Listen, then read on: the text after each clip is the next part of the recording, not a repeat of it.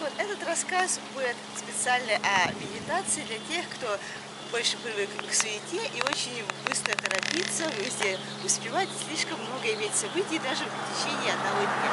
Вот есть такие суетные люди, даже если они относятся к стихии ветра или стихии огня, или совместно, когда есть эта стихия, к примеру, стихия огня, стихия земли смешиваются пополам на пополам.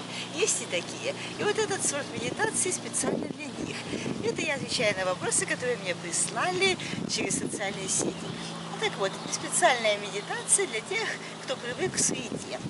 Вот. Я этого назвала бы даже медитацией на разговор с растениями. Так что если учесть, что вся природа живая, и она может отвечать и что-то показывать, также иногда можно узнать события на ближайшее будущее. И вот это можно назвать еще и медитацией на разговор с растениями. То есть вот растение, вот как вот, например, как сзади меня, вот такое красивое, пышное, очень колючее, это идеальный вариант, который подходит. Ну а уж если где-то в других странах, где более холодный климат, чем в Калифорнии, ну, там есть другие растения, которые тоже колючие. Есть такие длинные, такие полосатые листочки, и вот такие острые, и вот такие полосатые. Их вот очень много из одного пунктика растут. Вот для медитации на разговор с растениями подойдет и такое, если нет таких вот, как вот сзади меня. Так вот, это сама медитация заключается в том, чтобы избавиться от негатива и избавиться от постоянной суеты, от давления, суеты мирской жизни, которая бывает настолько достает, что иногда людям хочется просто взорваться и куда-то исчезнуть. Есть такой момент. Вот. И главное, что весь негатив, который бывает накоплен даже в течение нескольких лет, этот негатив уходит в землю, в подземный мир и никому не вредит. А растение это только то, что настраивает ауру на правильный ход. Потому что если аура она очень слишком раскручена, слишком много, даже если тем более аура слабенькая, оно, и поэтому острые листья растения, они помогают настроить ауру, чтобы она вращалась нормально, не слишком быстро не слишком слабо, не слишком медленно для этого, поэтому что астролистные, они помогают, эти вот растения, они помогают утихомирить, упорядочить структуру ауры. А аура обычно, тем более это если люди ветра, это у них аура бывает, она часто себя дрожит, как костер. Ветра чаще всего имеют ауру, которая похожа на костер, если так смотреть. Вот, и она настолько вот трясущаяся, есть выражение, трясется, как пойманная мышь. Вот. И для того, чтобы аура перестала трястись, и надо сесть и успокоиться. И так начинается медитация, чтобы разговаривать с растениями. Конечно, я не говорю в прямом смысле, что разговаривать на том же языке и о чем-то. О чем? Но это главное сосредоточиться, чтобы ушел весь негатив.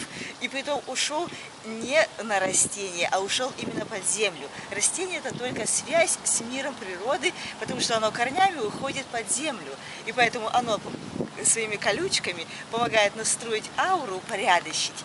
А все то, что под землей, его огромные корни под землей, это помогает отправить весь негатив под землю. И за ним это никому не вредит. Вот в чем главное дело. Чтобы она не вредила ни тому, кто хочет от негатива избавиться, ни тому, кто будет рядом, или случайный прохожий, или как-то вот попался тут. Вот. Вот. И самое главное, с чего это начинается. Просто сесть тихо и успокоиться. Самое главное в этом сосредоточиться и в течение всей медитации не сказать ни одного слова. Кроме того, что ты будешь говорить с растением телепатически, то есть мысленно рассказывая растению, какие проблемы, и мысленно попроси помочь от них избавиться.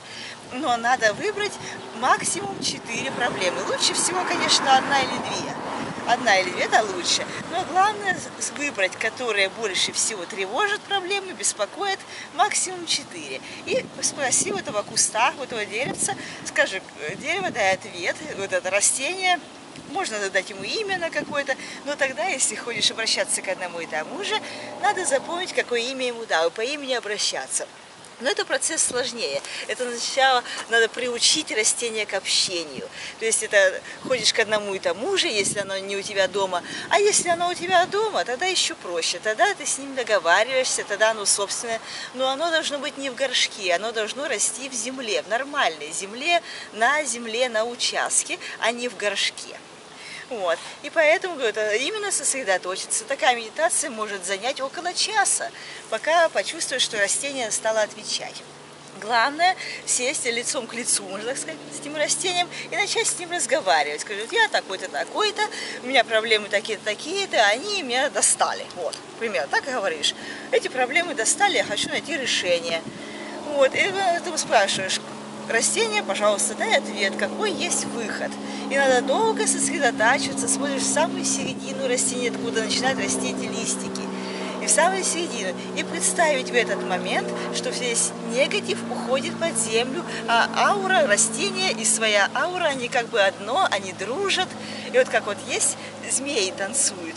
Змеи, когда танцуют, у них же один хвост, у них лап нет. Ну вот как змея танцует, так и энергия может танцевать. Вот это сосредоточение, настрой до тех пор, пока не поймешь, какая информация пошла какая должна быть информация, дерево будет отвечать.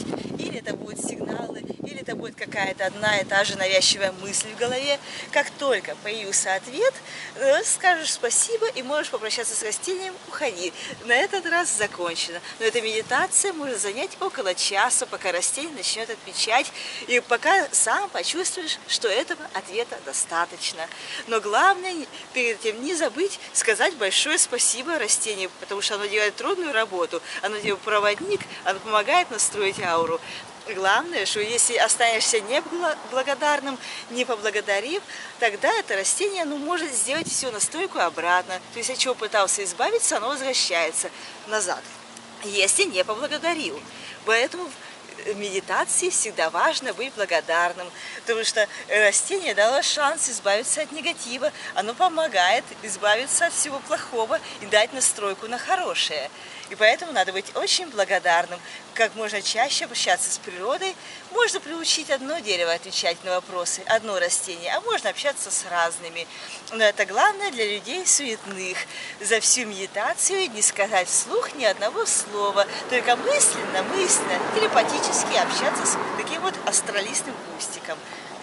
Главное настроиться на позитив и на понимание. Кто хочет, тот поймет. Кто имеет уши и умеет слушать, тот понимает, о чем я говорю. А если не настроенный понять, это их дело, пускай их проблема останется с ними, если они так за нее трясутся. А я, конечно, буду продолжать отвечать на вопросы по мере их поступления. Это медитация для людей суетных. А есть еще специфические медитации. А вот какие будут вопросы поступать, до новых встреч. Я отвечаю на вопросы, когда они того стоят.